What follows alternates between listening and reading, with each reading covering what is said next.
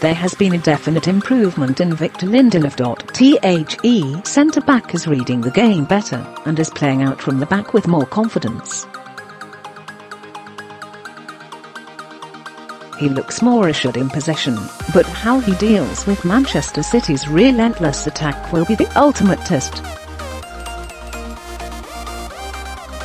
They will pressurise him and try to force him into a mistake by trapping him on his left foot. Lindelof will have to be alert to the threat of City's wide men. Raheem Sterling, Riyad Mahrez and Leroy Sane are all in fine form, and whichever two start can pose Lindelof problems. Against Juventus, Paulo Dybala was given too much space when he attacked down the right. While Lindelof was careful not to overcommit, he did not squeeze up to Dybala when he beat Luke Shaw and cut inside. It meant the forward had space to shoot. Mahrez is dangerous when he comes off the right wing. Lindelof will have to be on top of his game. United will be riding high after their win over Juventus, but euphoria alone will not be enough against City.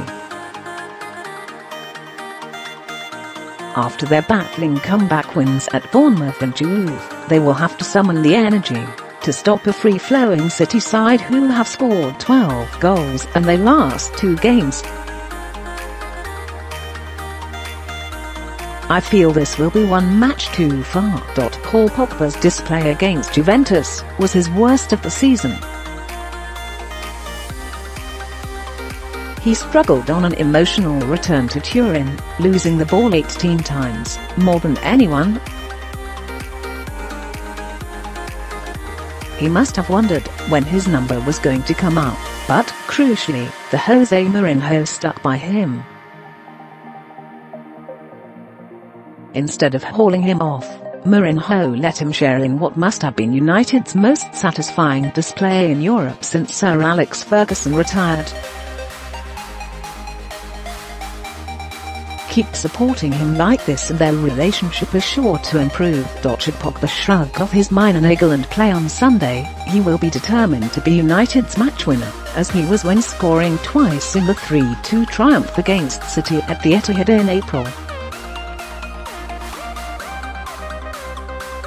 These seismic derby games are when you see leaders emerge. I want to see John Stones prove he can be City's boss at the back,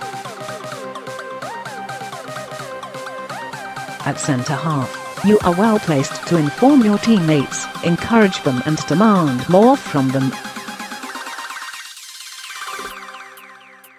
As Vincent Kompany's games become fewer, who is the prominent figure in City's defence?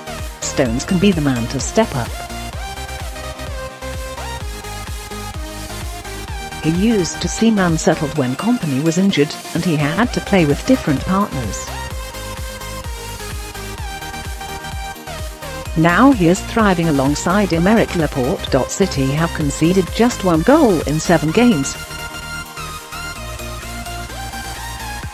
Stones has worked hard to eradicate his costly lapses of concentration. He was immense in England's World Cup semi-final, before switching off for a split second, and allowing Mario Mandzukic to score Croatia's winner. His defending has improved. The next step is to show he can be City's leader for the future.